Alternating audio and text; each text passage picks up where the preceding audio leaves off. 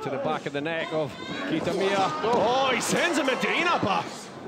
His tag team partner now over the top rope, bounces off the apron, disappears onto the outside, leaving him and Inamura in there together. Now, seismologists have been notified when these two men are in the ring, just so that the calculations don't go askew. 10 minutes into this six-man tag match. Inamura's got to fight this now. He gets out. Oh,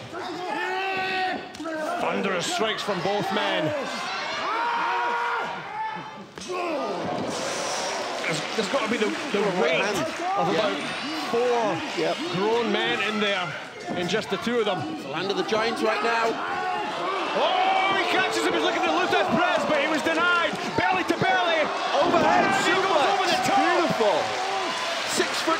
Saxon Huxley. Inamura out here, tearing egos apart like bullets through flesh. Do it, do Right the it. ropes and the big shoulder. Yosuke Inamura puts all the weight down on the shoulders of the champion. He kicks out. Still nobody able to save him. The crowd going wild here. Yosuke Inamura has a hold of Huxley. Can he get the big man up? He's got him up. Down,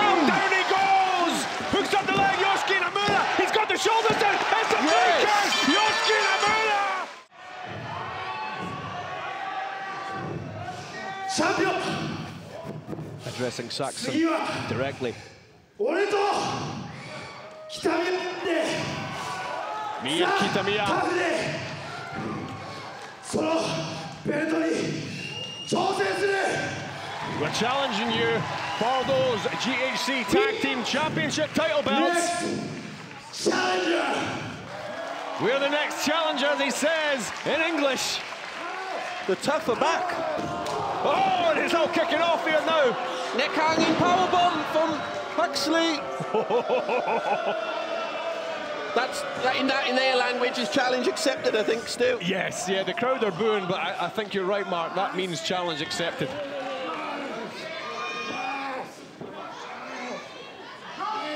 Dear Lord. We were expecting fireworks. Huxley is an unchained beast right now. He is the, the only man that can keep any kind of control of him. Yeah. Is uh, Hideki Suzuki. And well, Tim Thatcher knows how to deal with him, but he's a wild man and he will not be stopped. The next challengers to their belts. Stay tuned to the socials for the official announcement on that. The tough looking tougher than ever. Yeah. Yosuke Inamura with a powerful statement here today at Korakuen Hall. Yeah, one of the biggest scalps of his career. Pinning reigning tag team champion.